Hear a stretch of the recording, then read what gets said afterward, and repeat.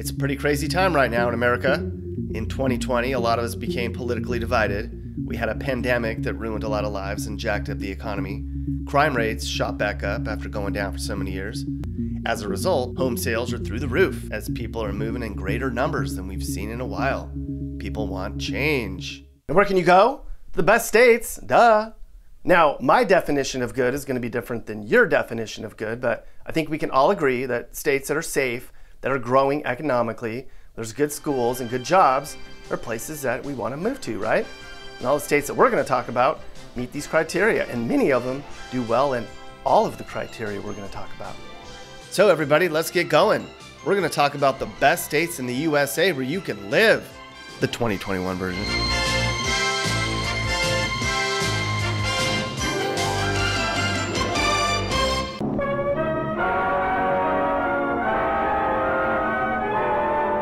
Sitting there watching TV, your typical late night fare, pondering where you want to move to, and then you see an ad for Idaho, and you're like, I never thought I'd ever move to Idaho, but my city is totally run down with homelessness and crime.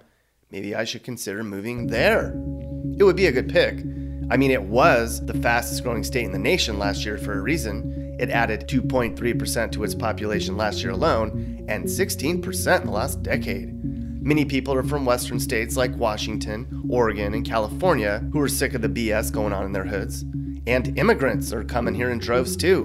Believe it or not, Idaho's international population grew 6% in the last five years. And then everybody gets there and they're like, This is unreal! well, that might be a bit of a stretch, but things are going pretty well here right now, especially when you consider the state's economy and safety. Economically, Idaho has had the best economy in the country for the last four years, according to many analysts. It's no longer small potatoes here, boy. In fact, Idaho led the nation with an 8% rise in non farm employees. A lot of that has to do with the rise in technology jobs, as well as in healthcare. And international trade has been a big deal here, even despite President Trump's trade war. If you like safe communities, Idaho has you covered there too. It ranks fifth in public safety. Not too long ago, Boise ranked as the eighth safest city to live in the whole world. However, places like Pocatello and Weiser have a lot of room to improve, crime wise. All of this means prices are going up, though. Idaho saw the nation's biggest bump in home prices at 14% last year alone, which is why people in Idaho despise people moving in from out of state. And they have the nerve to complain about an increase in traffic. Come on now, Idaho. You'll never know how bad traffic really is. If there's a knock on Idaho, it's the quality of its schools. And the boom in population has made overcrowding of Idaho's classrooms even worse.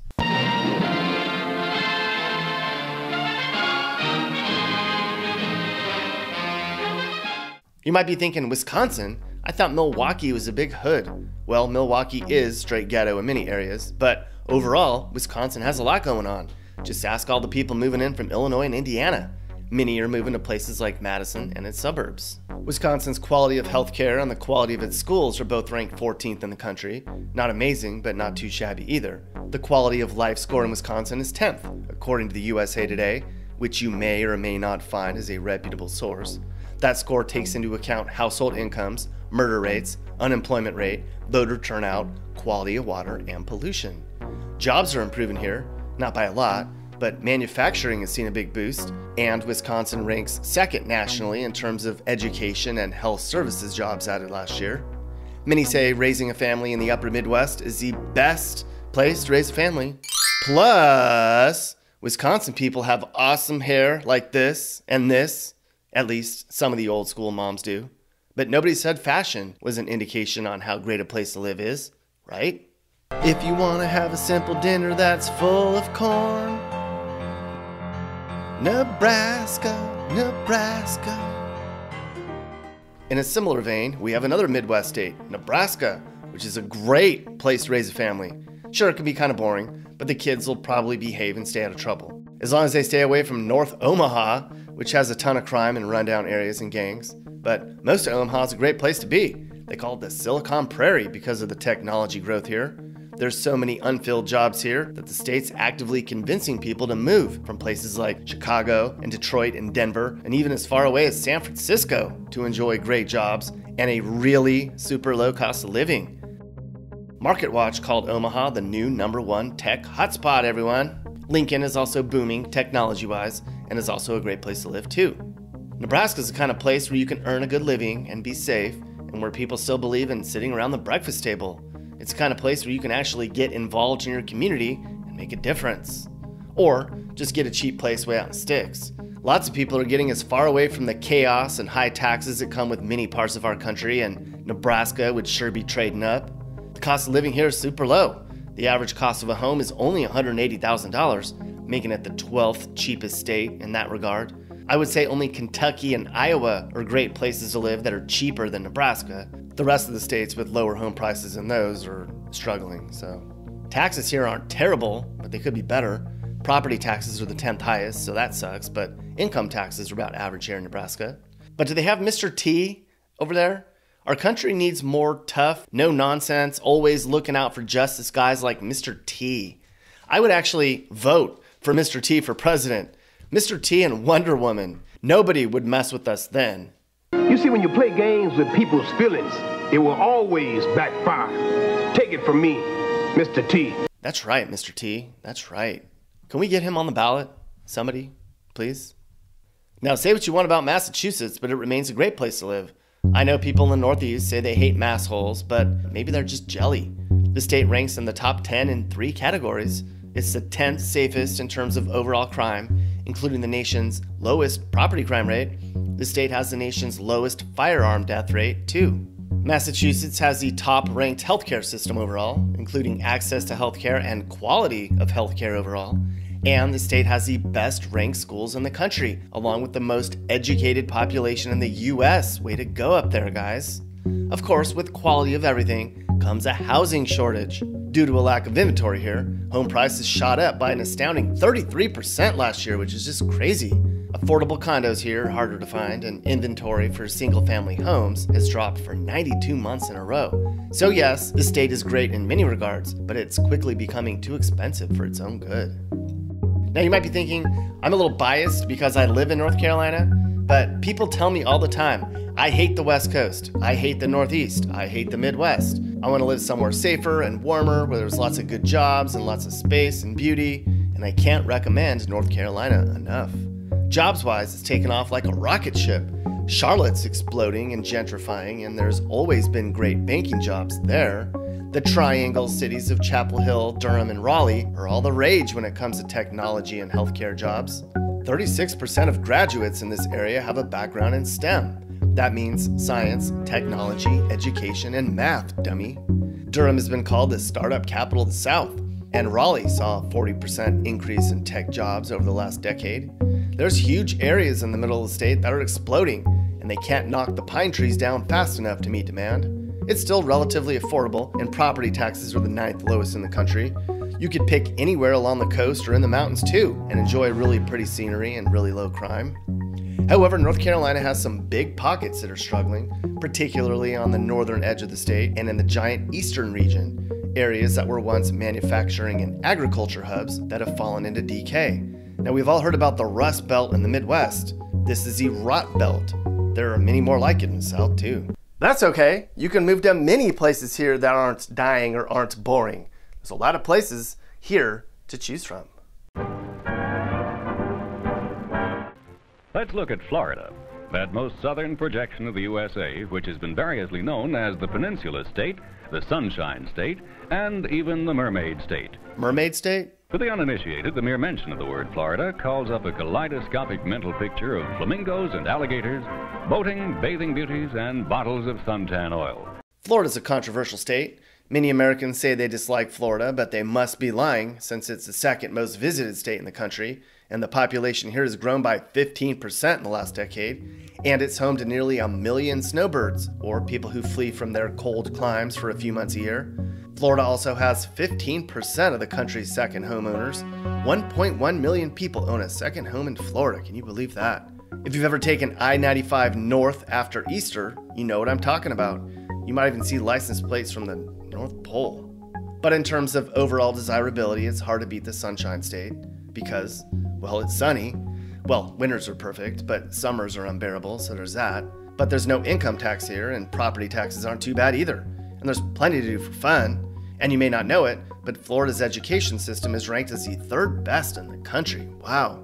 Florida had the nation's second best economy last year, too, helped in part by a governor who allowed businesses to remain open during a pandemic. But Florida has one of the country's highest wealth gaps. There's a lot of money and success and opportunity here, but a big part of the population is struggling. Home prices are about average nationally, though in highly desirable urban areas along the coast, that's not the case. Those are really expensive. But look at this.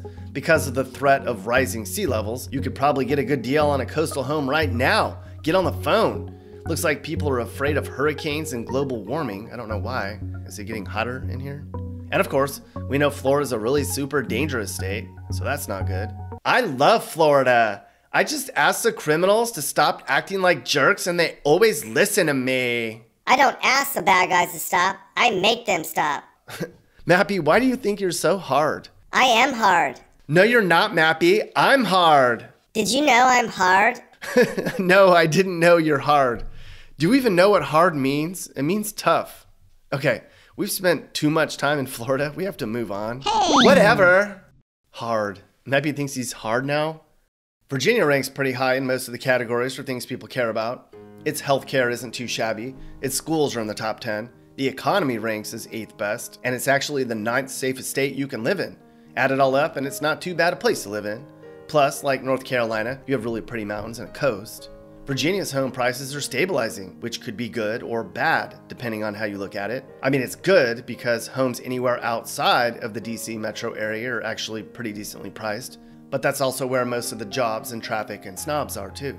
But despite having a strong job market, Virginia has a problem with its income gap. A lot of the millennials who like the idea of having a lot to do and working for a great company can't afford to live in Northern Virginia because of the high housing costs and the high taxes.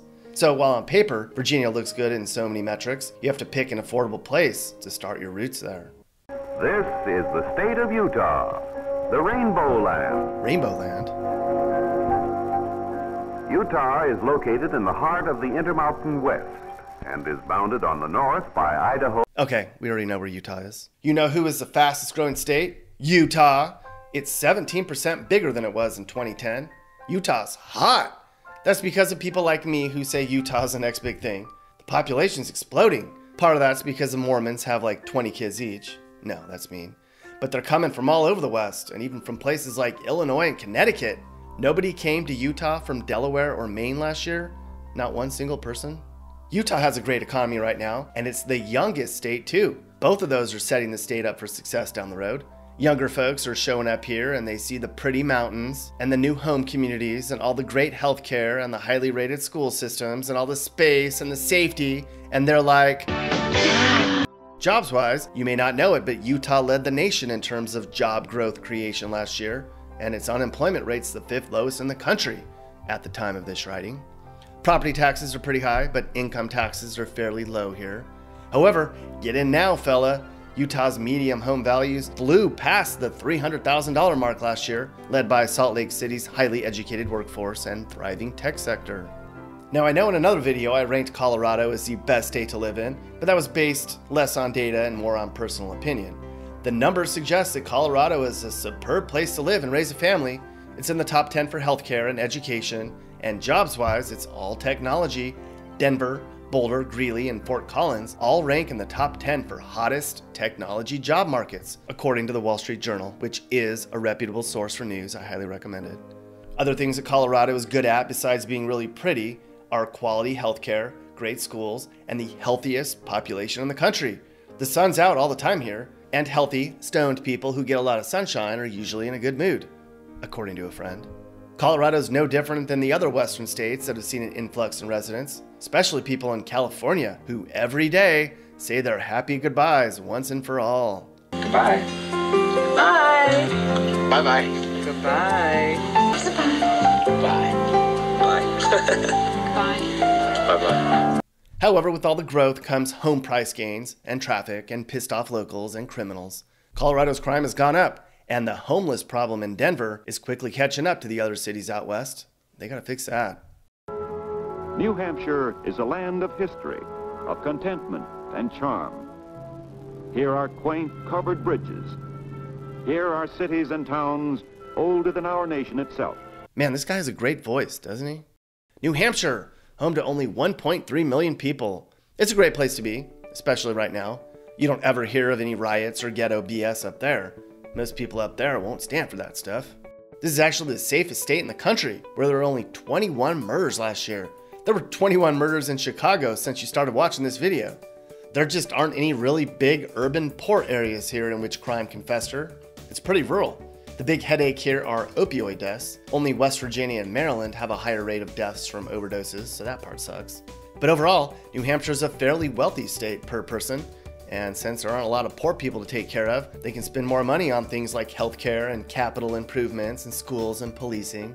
New Hampshire does have the highest property taxes in the country, but there's basically zero income tax, so it kind of evens out.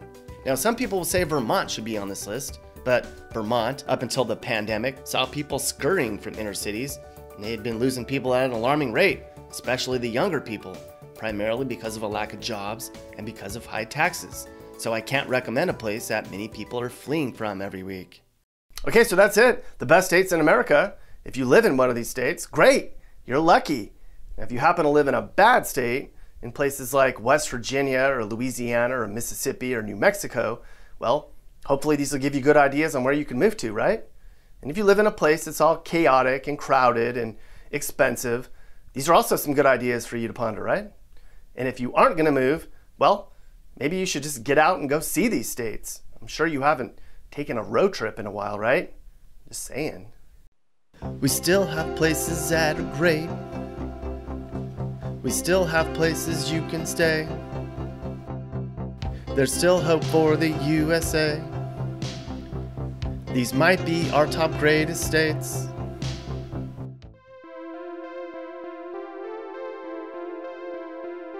Idaho is not all rednecks, Wisconsin is safe and pretty, Nebraska is not all farmers, Massachusetts is so smart, and Carolina has the beaches, Florida is popular, and Virginia has so much to do, and Utah is waiting for you. Colorado has the sunshine, New Hampshire will make you smile.